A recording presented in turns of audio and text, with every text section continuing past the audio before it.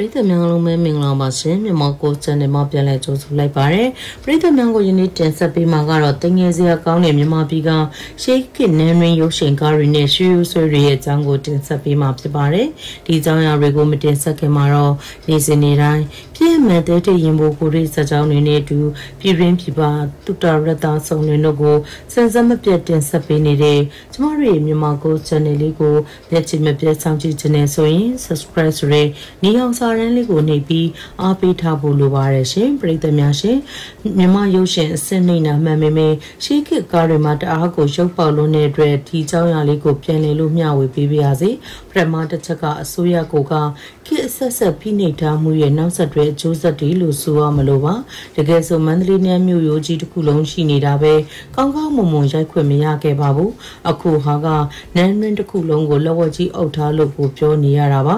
ပရိသတ်များရှင်ရုပ်ရှင်ရိုက်ဖို့မပြောနဲ့အရင်ကနန်းတွင်းကနေတဆင်ဖြစ်ရင်ကိုအုတ်ထုတ်ချွရတာနဲ့ ဆိုင်ကယ်ဆင်းတွင်းရတာနဲ့မပုံနေပြရတာအဆင့်ဆင့်စစ်မပြီးနိုင်တော့ပါဘူးလုံချုံကြီးအရာလို့ပြောရင်တော့အလွန်ရည်စရာကောင်းလာပါတယ်နန်းတွင်းနဲ့ဝင်လိုက်တာနဲ့သူတို့နေမြေလေးဘယ်မှထွက်လန်းရှိကြလို့လဲလို့မေးစရာရှိပါတယ်နောက်တစ်ချက်ကတော့အဝတ်စားဖြစ်ပါတယ်ရှင်အဝတ်စားကိုပြီးဆိုလဲရိုက်ကြတာဟာတိတ်ကိုစိတ်ညစ်စရာကောင်းလာပါတယ်တကယ်ဆိုနန်းတွင်းဆိုလေခြိတယ်လေးတွေနဲ့လက်ဝတ်ရတနာတွေလေးတွေလောက်သုံးရမယ်ဟာကိုတခါလဲလဲဖဲတောက်တောက်အစင်ကြီးတွေနဲ့မိဖုရားဘရင်မိတ်ကတပိတ်သားလောက်တွေလိမ့်ပြီးရိုက်ကြတာဖြစ်ပါတယ်မူမတ်တွေမှုရန်တွေဆိုရင်တော့ကျန်းဟုတ်ထုတ်တွေနဲ့နိုင်ငံတကာယဉ်ကျေးမှု group တွေထဲမှာထိုင်းလာကိုကမ္ဘောဒီးယားတွေရဲ့လောင်ပြောင်ရီမောခြင်းကိုခံနေရတာပဲဖြစ်ပါတယ်ရှင်နောက်တစ်ချက်ကတော့စကားတော်တော်များများကတခါလာလဲဘရင်ကြောင်းတခါလာလဲမိဖုရားကြောင်းနန်းတွင်တွင်တိုင်ပတ်နေတယ်လို့ပြောရမလို့ဖြစ်နေပါပြီရှေးခေတ်ကိုအပြင်လောကအကြောင်းကြိုက်ထားတာမျိုးမရှိသလောက်ကိုရှားတာပါရှင်ဖြစ်ချင်တာကယရနာပုံခေတ်အကြောင်းကြိုက်ပြမယ်ဆိုရင်အဲ့ဒီခေတ်ရဲ့အပြင်လောကလူတူးရဲ့ဘဝနေထိုင်မှုကြောင်းဒါမှမဟုတ်လည်းမိဖုရားတစ်ပါးတွေကကြောက်ရောက်အကြောင်းဖြစ်တင်ပါတယ်အဲ့လိုရိုက်တာမျိုးမရှိပါဘူးရှင်ရိုမန်တက်မရတာတွေဒီတစ်ချက်ကတကယ့်ကိုပယုတ်ကြလာပါတယ်ကိုရီးယားနန်းရင်းကားတွေကြည့်လိုက်မယ်ဆိုရင်တော့ဘရင်ဆိုရင်ဘရင်မိဖုရားဆိုမိဖုရားအမတ်ဆိုအမတ်အချက်ပြုတ်ထိန်းတော်စေးပညာအမှုရမ်းမှစပြီးနေပယ်တီးတီးမှာရှေးခေတ်ရုပ်ရှင်ရောဇလန်တွဲတွေရောတည်ရှိနေပါတယ်။ဒါကြောင့်မဲ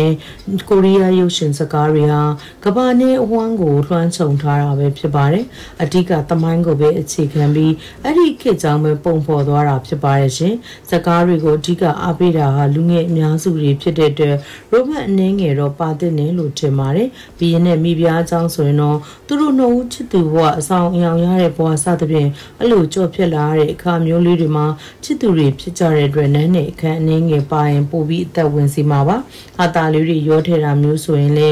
international အထိကိုပေါက်မှအသေးချာမဟုတ်ပါလားရှင်။ကိုရီးယားကားတွေရဲ့နန်းတွင်ကားတွေဟာချစ်သူရဲ့စိတ်တွေကိုဖမ်းညှို့ထားပါတယ်။တကယ်လို့ဘီရင်နဲ့မိဖုရားနန်းနဲ့ခန်းပါလာပြီဆိုရင်တော့အရင်ဆုံးမြန်မာနိုင်ငံမှာဘာဖြစ်မလဲဆိုရင် generation လေးတွေရဲ့အရင်ဝေဖန်တာခံရပါတယ်။ရိုးရာစော်ကားတာတွေပါလာပါပြီ။ရုပ်ရှင်စီယုံကစင်စားတွေပါလာပါပြီ။မြန်မာနိုင်ငံတော်ဝင်တွေတော်များစီယုံအောက်မြန်မာတော်ဝင်တွေတော်အထက်မြန်မာတော်ဝင်တွေတော်မြောက်မြန်မာတော်ဝင်တွေတော်ရှိသမျှတွေတော်တွေဟာသူတို့ဘိုးဘေးတွေကိုဒီလိုရိုက်ရသလားလို့ကန့်ကောက်စာတသိန်းတက်လာမှာပဲဖြစ်ပါတယ်။ဒါဆိုရင်မေးခွန်းထုတ်ပြပါစီရှင်။ဘီရင်နဲ့မိဖုရားမနှမ်းခဲ့ကြပါဘူးလား။ပြီးတော့ဖြစ်ချင်တာကမန္တလေးနန်းတွင်းမှာဆိုရင် GDP တခုတက်ဝင်လာအောင်စီစဉ်ပေးတင်ပါတယ်။လူငယ်တွေကိုနိုင်ငံခြားကလူမျိုးလေးကိုရှိခေဝတ်စုံလေးတွေနဲ့ဓာတ်ပုံရိုက်ခွင့်ရအောင်ဝတ်စားငားတဲ့ဆိုင်တွေလက်ဝတ်ရတနာငားတဲ့ဆိုင်တွေဓာတ်ပုံဆိုင်လေးတွေနဲ့စက်တင်ခန်းတွေဒါတွေအများကြီးထားပေးတင်ပါတယ်။သွားတဲ့နေရာမသွားတဲ့နေရာသတ်မှတ်ပေးတင်ပါတယ်။မသွားတဲ့နေရာလို့ပြောထားတာကိုသွားရင်လည်းတန်ကြီးကြီးရိုက်ပြီးဒါမျိုးတွေဖြစ်တင်ပါတယ်။အဲ့လိုသာဆိုရင်တော့နိုင်ငံဝင်ငွေဟာလည်းတစ်ဖက်တစ်လမ်းကအနှဲငယ်ပိုရလာမှာဖြစ်ပါတယ်။ကိုရွေးရာတွေကိုတိုင်းတစ်ပါးကခိုးသွားကြမှနားမနေကြပါနဲ့ရှင်။ကိုရီအသုံးမကျလို့ခံရပေါင်းလဲများနေပါပြီ။အခုဆိုရင်တကယ်တမ်းကြောက်ပြားမှဒီ ARD စကားဆိုတကယ်တမ်းကိုရီနိုင်ငံကိုဘီလင်းဆက်သွင်းထားတဲ့စကားဖြစ်ပါတယ်။ဒါပေမဲ့လည်းပျော်ပျော်ကြီးကြည့်ပြီးနေရပါတယ်ရှင်။ဘာလို့လဲဆိုတော့ကိုမှသူတို့လိုမရိုက်နိုင်တာ။ကိုလည်းမရိုက်နိုင်တော့သူများရိုက်တာကိုကြည့်ရပါတယ်ရှင်။မြမအကြောင်းလေးထဲရိုက်ထားတာဟဲ့ဆိုပြီးဂုံယူနေကြရတဲ့ကိုစားဘဝတွေပဲဖြစ်ပါတယ်။ရိုက်နိုင်တဲ့သူတွေပေါ်လာရင်လည်းအပေါ်မှာပြောထားတဲ့အုပ်စုလိုက်ကြီးကဝိုင်းပြီးဆွဲချကြပါတယ်။အစိုးရကလည်းဘရော့မှကြည်ဖြူစွာရိုက်ခွင့်ပေးမှာမဟုတ်တာကြောင့်ပါရှင်။ပရိသတ်များရှင်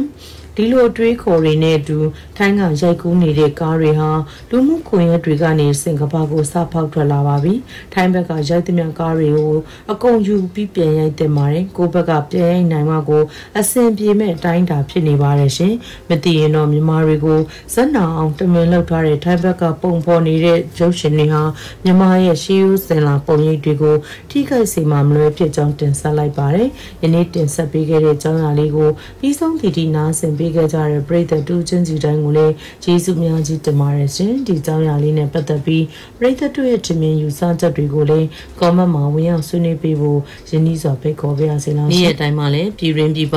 တူတရတဆုံလင်တို့နဲ့အတူဖြစ်မှန်တဲ့ထိရင်မှုကိုရိဇာကြောင်းတွေကိုစင်စက်မပြတ်တင်ဆက်ပေးနေပါမယ်လို့ပြောရင်းနှုတ်ဆက်လိုက်ပါရရှင်ပရိသတ်များအားလုံးပဲတာပျော်ရွှင်တဲ့ဘဝတွေပိုင်ဆိုင်နိုင်ကြပါစေရှင်